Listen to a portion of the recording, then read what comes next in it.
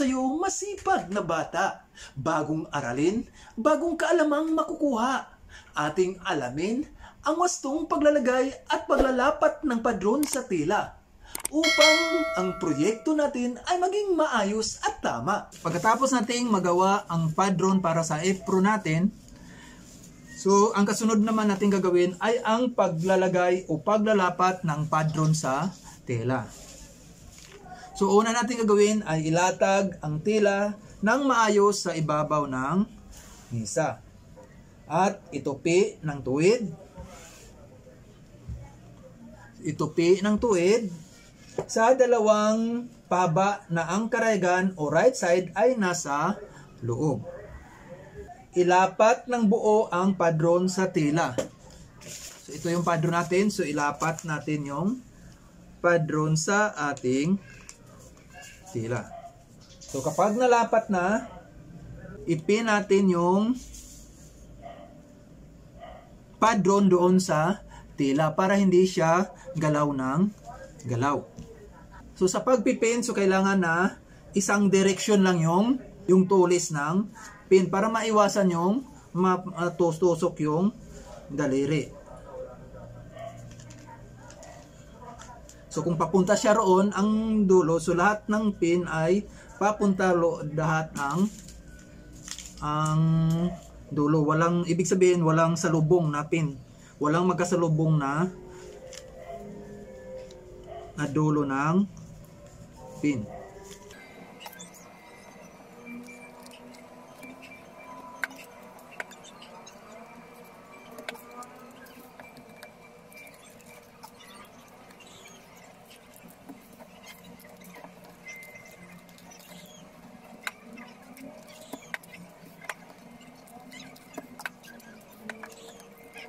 Ito na, napina natin yung ating padron doon sa ating tela. So, pwede natin siyang gupitin. Susundan lang natin yung ating padron. So gupitin natin gamit ang matalas na gunting. So paalala uli mga bata, so kailangan na laging mag-ingat sa paggamit ng gunting. Kung kinakailangan, magpatulong sa nakakatanda o sa magulang.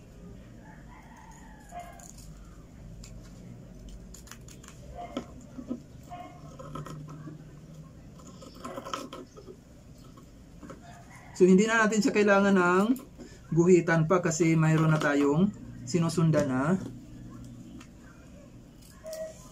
padron.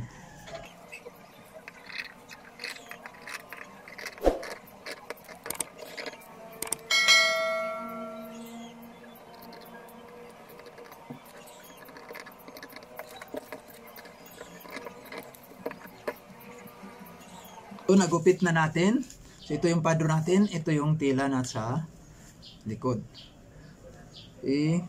So, tatanggalin natin yung pin. So, kung pagtanggal ng pin, kung mayroong kayong tusukan ng pin o karayong na tinatawag na pin cushion, so pwede natin doon itusok na kaagad para hindi na siya magkalat o di na siya mahuhulog para maiwasan yung disgrasya o pagkakatusok.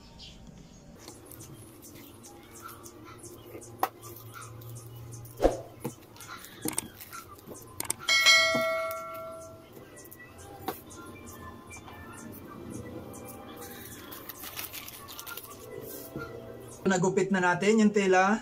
So ito na yung magiging yung apron natin. So yun tong gilid, so kaya may allowance tayo kanina ng ano. so dito sa gilid, so para ma, hindi matanggal-tanggal yung hibla ng tela, so pwede nating tie-in. So pwedeng tie-in sa magitan ng kamay, pwede ring tatayin sa magitan ng makina. So may allowance tayo kanina na 3 port doon sa padro natin. So pwede tayong nung tupi ng Una, magtupi muna tayo ng 1 fourth. Lagyan siya ng pin o aspili at tie-in ng hilbana. Hilbana, ito yung tinatawag nating pansamantalang tahi. So pagkatapos ng 1 fourth, so tutupiin siya ng 1 half.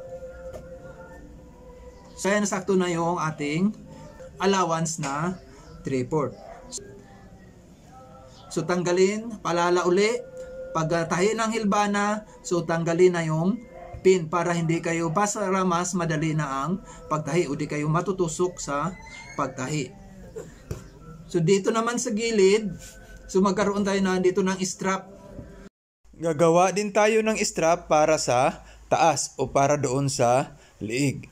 Para maging angkop ang haba doon sa strap natin, so kailangan isukat yung apron natin.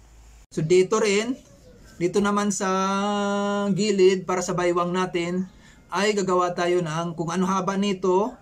So ang haba natin kanina ay 8. So magkabuuan nito ay 16 ang haba. So pwede tayo gagawa ng labing anim na pulgada na strap sa magkabilang side. So, ang strap natin ay may lapad na isang pulgada.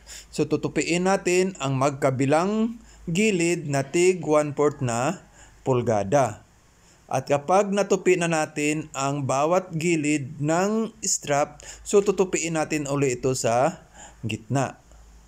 Pag natupi na sa gitna, so lagyan ito ng pin o aspili, tsaka tahiin ng hilbana. So tanggalin ang pin kapag natahi na ng hilbana bago tahiin sa makina o sa kamay.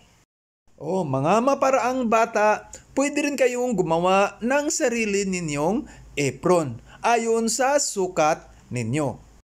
apron. Paalala uli, mag-ingat sa paggamit ng matatalas na bagay tulad ng gunting. Sa yan mga bata, ang paglalagay o paglalapat ng padron sa tela. Sumuli, ito si Maestro Todeo na laging nagsasabing, mag-aral ng mabuti sa pagkakaroon ng magandang kinabukasan, iyan ang susi. Maraming salamat, ingat kayong lahat.